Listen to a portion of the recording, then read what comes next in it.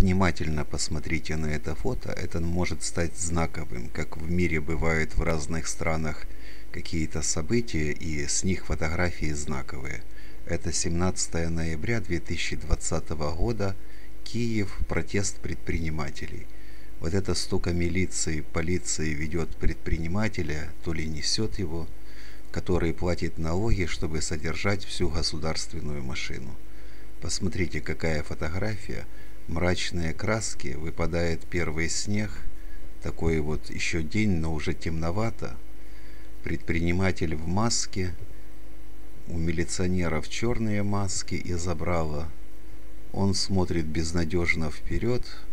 Те выполняют свою работу, зарплата позволяет и потом социальное пенсионное обеспечение льготное. Много полиции. Ну, тут посмотреть, что комментируют люди в социальной сети к этому. Вот фотографии. Смотрите, поддержка малого бизнеса, Киев, 17-11.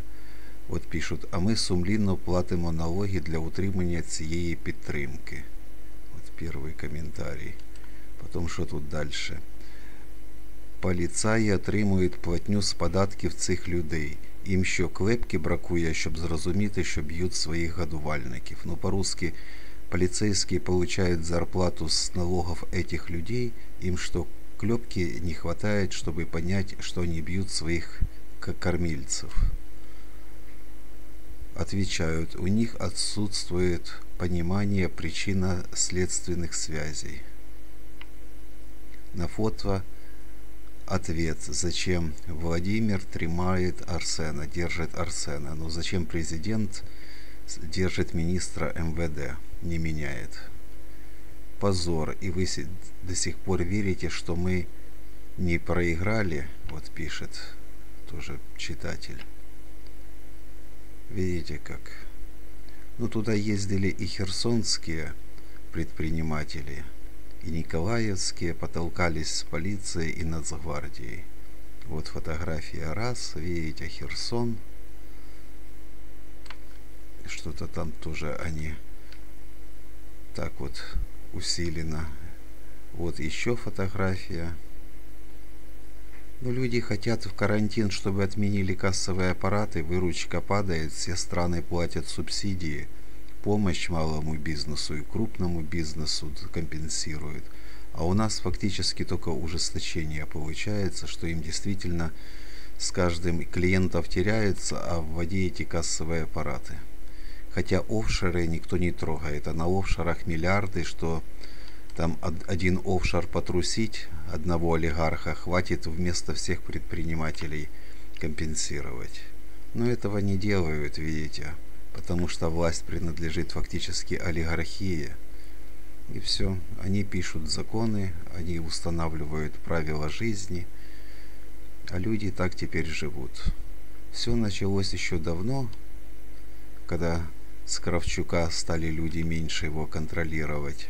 Кучма построил полностью олигархическое государство, и теперь какой президент не приходит, он ничего сделать уже не может уже все. Вот так вот получается.